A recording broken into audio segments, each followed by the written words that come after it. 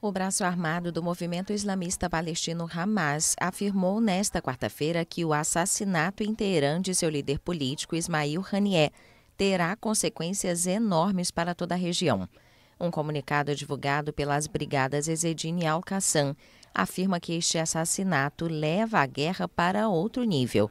As brigadas travam combates violentos com o exército de Israel na faixa de Gaza desde o início da guerra em 7 de outubro.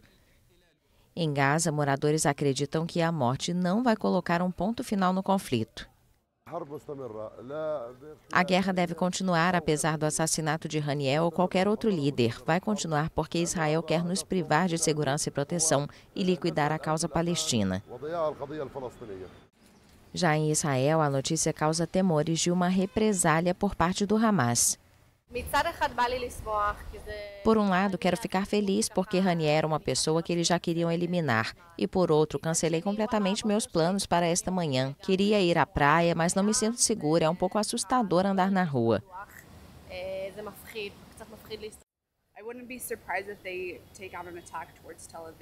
Eu não ficaria surpresa se eles fizessem um ataque em direção a Tel Aviv agora. Acho que muitas pessoas estão céticas sobre o que isso pode levar, mas não queremos ficar felizes prematuramente e parabenizar uns aos outros e ficar de bom humor.